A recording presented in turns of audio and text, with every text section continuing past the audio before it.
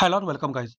Today in this video I'm gonna to show you how to fix disk structure is corrupted and unreadable.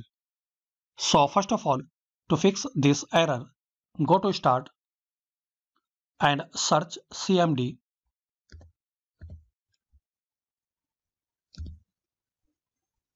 right click on command prompt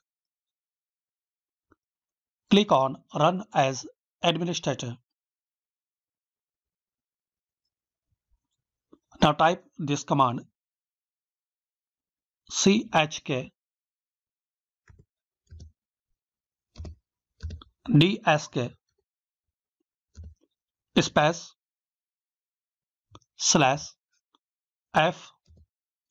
Space.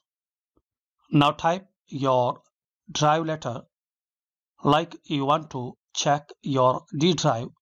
So just type D semicolon and press enter. So that's it friends you will find this uh, node Windows has scanned the file system and found no problems and found no problems.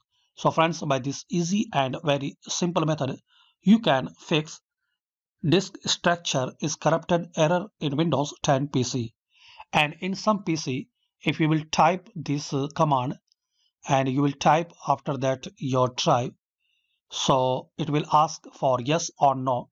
So if you will ask yes or no so just you type y for yes and let it to complete the processor.